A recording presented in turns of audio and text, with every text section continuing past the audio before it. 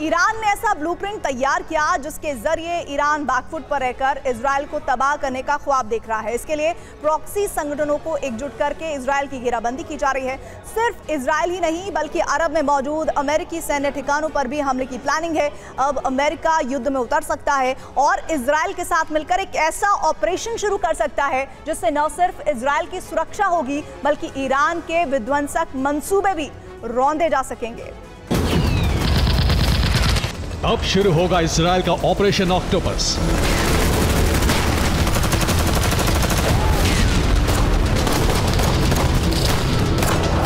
क्योंकि अभी तक इसराइल सिर्फ़ तीन दुश्मन मानकर चल रहा था, जिसमें हमास हिजबुल्ला और ईरान थे।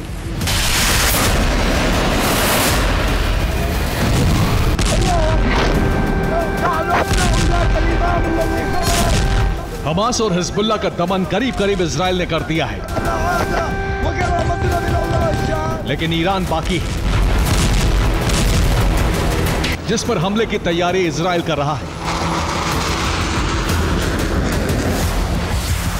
लेकिन सिर्फ़ ईरान ही नहीं, बल्कि उसके प्रॉक्सी संगठन तबाही मचाने को तैयार हैं।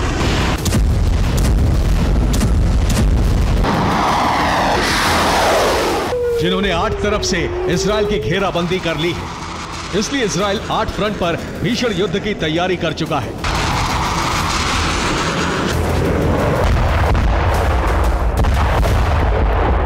एक एक करके ईरानी प्रॉक्सी का खात्मा करेगा।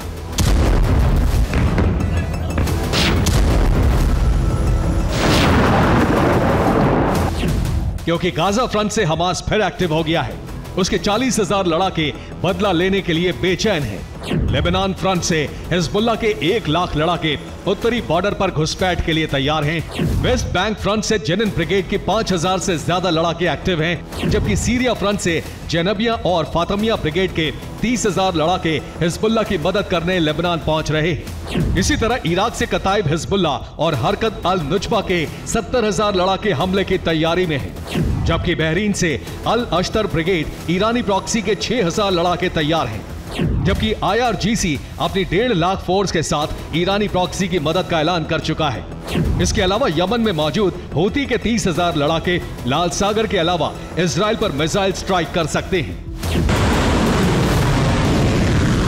ईरानी प्रॉक्सी गुटों ने एकजुट होकर इसराइल की तबाही का ब्लूप्रिंट बनाया है और आईआरजीसी उन्हें स्पेशल ट्रेनिंग दे रहा है। यानी इसराइल के लिए बड़ा संकट पैदा हो गया है।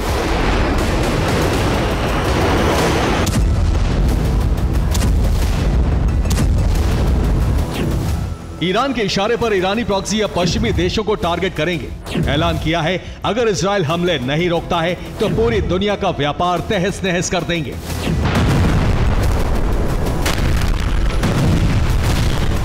और इसकी शुरुआत होती ने कर दी है।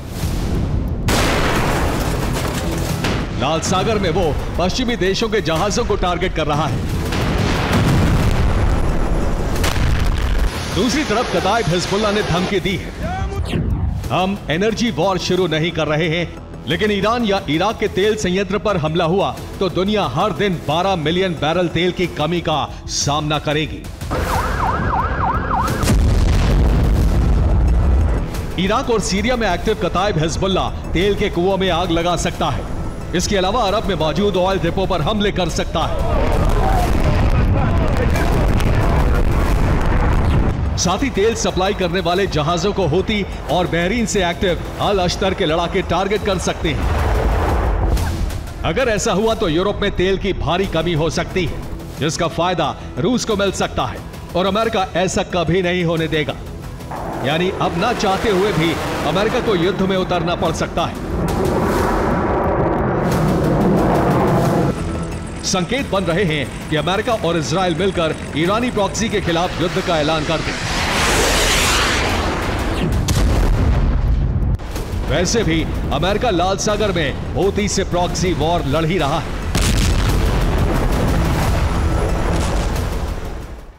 लाल सागर में हूती के तेवर विध्वंसक हो चुके हैं, जिससे पश्चिमी देशों की सांस अटक गई है। हूती ने लाल सागर में अमेरिकी ऑयल टैंकर पर हमला करके अपने इरादे ज़ाहिर कर दिए हैं। यमन में मौजूद अपने बेस से हूती ने अमेरिकी कारोबारी जहाज़ पर ताबड़तोड़ 11 मिसाइलें बसाई। 11 बैलिस्टिक मिसाइल और दो कैमिकाजी ड्रोन से हमला किया गया था।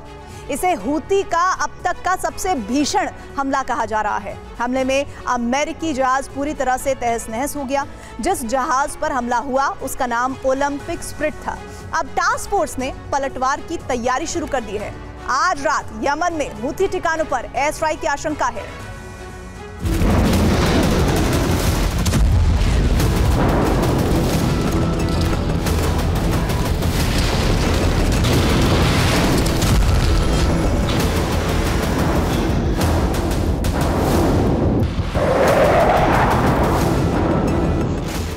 लाल सागर में ही नहीं, हिंद महासागर तक होती पश्चिमी देशों को टारगेट कर रहा है।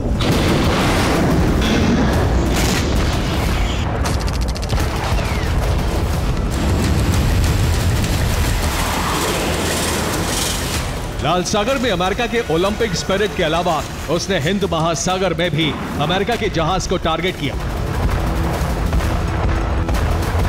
होती ने सेंट जॉन जहाज़ पर क्रूज मिसाइल से हमला करके बता दिया कि अब दायरा कितना विध्वंसक हो चुका है।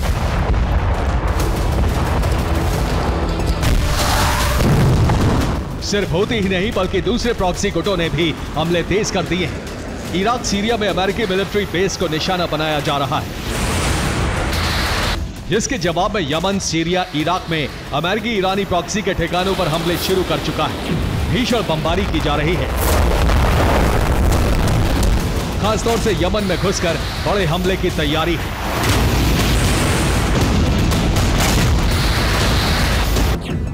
दरअसल ईरानी प्रॉक्सी गुटों को लगातार हथियार मिल रहे हैं। अभी तक ईरान और रूस से ही हथियार पहुँच रहे थे, लेकिन अब चीन और रूस से भी हथियार पहुँच रहे यानी रूसी गठबंधन अरब में अमेरिका और इसराइल को बैकफुट पर लाने के लिए सक्रिय हो चुका है, इसलिए लगातार ईरानी प्रॉक्सी की मदद की जा रही है। ये ठीक उसी तरह की रणनीति है जैसी यूरोप में नेटो ने अपनाई हुई। है यूरोप में यूक्रेन को नेटो हथियार पहुँचा रहा है, जबकि अरब में रूस के मित्र देश ईरानी प्रॉक्सी को हथियार भेज रहे हैं। यानी अब अरब में समीकरण बदल रहे हैं, जिससे विध्वंसक युद्ध के आसार बन रहे हैं। वैसे भी ईरान कह चुका है कि वो आत्मरक्षा के लिए न्यूक्लियर हथियारों के प्रयोग से पीछे नहीं हटेगा, जबकि गोलन हाइट्स और लेबनान बॉर्डर पर हज़ारों प्रॉक्सी लड़ाके इकट्ठा हो चुके हैं। आठ फ्रंट से हमले का खतरा बना हुआ है।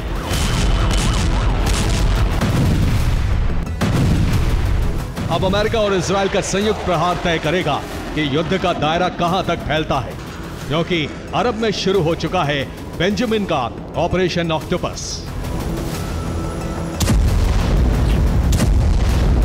Bureau report, TV nine Bharatvarsh